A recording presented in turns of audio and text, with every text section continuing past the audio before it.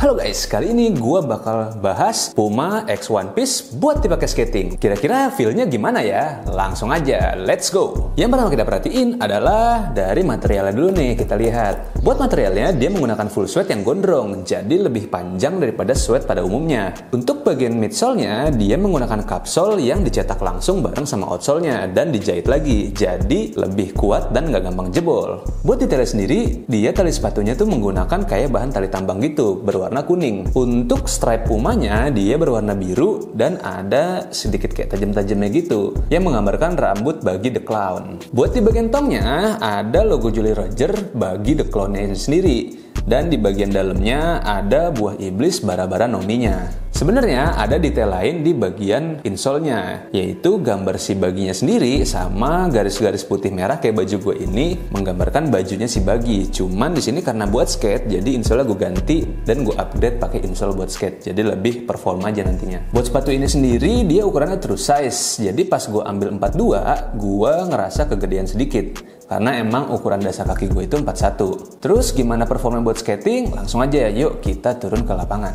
Secara looknya ini bisa dikategorikan seperti sepatu skate pada umumnya, cuman emang ini bukan lini buat skate-nya, lebih ke sepatu casual aja. Secara board feel ini lumayan enak karena sepatunya nggak terlalu tebel dan juga insole-nya nggak terlalu tebel, kan juga udah gue update juga.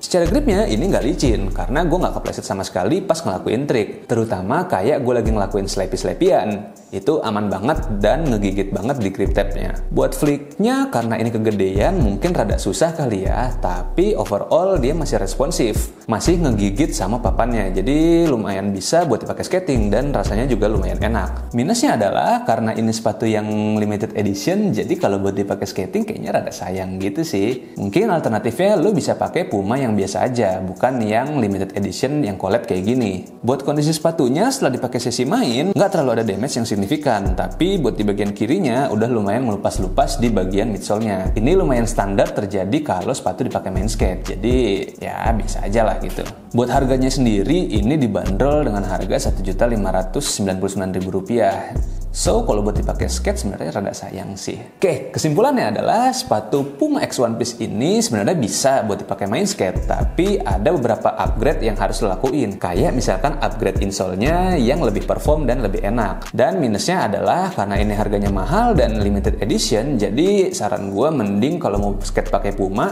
lo ambil yang Puma Sweat biasa aja. Jangan yang collab kayak gini, karena satu lebih mahal dan dua sayang sih. Oke, sekian dulu video kali ini. Jangan lupa like, comment, dan subscribe dan kasih tahu gue nih nextnya gue harus bahas sepatu apa lagi. Oke, okay? see you.